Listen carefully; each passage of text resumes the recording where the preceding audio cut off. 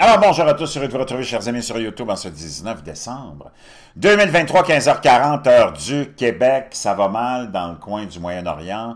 Ça se poursuit, il y a un front qui va s'ouvrir probablement du côté du Liban. Avec les Houthis, ça se chauffe aussi beaucoup. On semble vouloir aller les neutraliser, mais les Houthis, malgré le fait qu'on est en train d'installer des flottilles, des flottilles de bateaux euh, militaires pour protéger euh, ce canal, euh, les Houthis ont dit que ça ne les arrêtera pas de neutraliser le transport.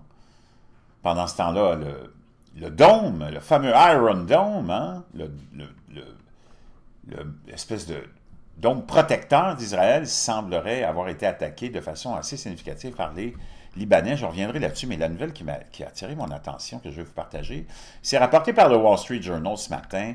Le Pentagone envisage des armes à micro-ondes pour lutter contre la menace des drones. Donc, ça y est, on admet que cette technologie-là, qu'on a voulu nier pendant tellement longtemps, ben, est en grand développement, si ce n'est pas déjà prêt. Faire frire des essaims d'avions sans pilote est peut-être plus économique que de les abattre avec des missiles, mais la technologie continue d'évoluer. Les planificateurs du Pentagone inquiets de la menace croissante des drones ont tout examiné depuis les filets maillés et les missiles jusqu'aux canons et lasers, mais aujourd'hui, une technologie autrefois hautement classifiée, wow, hautement classifiée, attire davantage l'attention et de financement.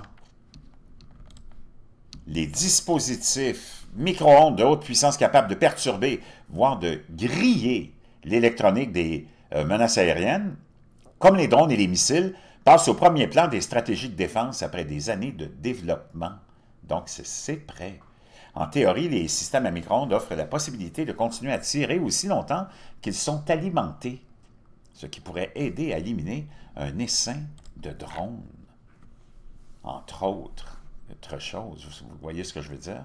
Les enjeux du développement d'une telle technologie sont importants, le coût relativement faible, des petits drones en fait de plus en plus l'arme de choix des armées moins sophistiquées, des terroristes et des groupes militants qui tentent de submerger ou de passer à travers les systèmes de défense. Le Hamas a utilisé des drones suicides pour attaquer Israël et les Houthis ont lancé des drones depuis le Yémen au-dessus de la mer Rouge. La semaine dernière, un destroyer de la marine américaine a abattu 14 drones Houthis. Les attaques des Houthis ont incité les États-Unis à dévoiler lundi, donc il y a une force navale multinationale chargé de protéger les navires marchands dans la mer Rouge. Donc, on en est rendu là à cause des Houthis. Des forces militaires encore plus avancées utilisent des drones suicides, comme la Russie a lancé des véhicules aériens sans pilote de fabrication iranienne pour cibler les infrastructures ukrainiennes. L'utilisation de la Russie des drones par des drones et suicide a incité les États-Unis à accélérer leur recherche de nouvelles technologies pour les Les responsables du Pentagone ont déclaré ces dernières semaines qu'ils souhaitaient une augmentation spectaculaire de la production de défense contre les drones, reconnaissant que tirer des missiles de plusieurs millions de dollars pour abattre des essaims de bombes volantes bon marché n'est pas une stratégie tenable, viable. Des technologies telles que l'énergie dirigée, les micro-ondes de grande puissance les intercepteurs à faible coût sont là et nous voulons les avoir c'est là, c'est développé, a déclaré le mois dernier le major général de l'armée, Sean Gainey. Donc, je vous laisse cet article-là, très intéressant, puis je vous reviens avec cette histoire de la force navale et de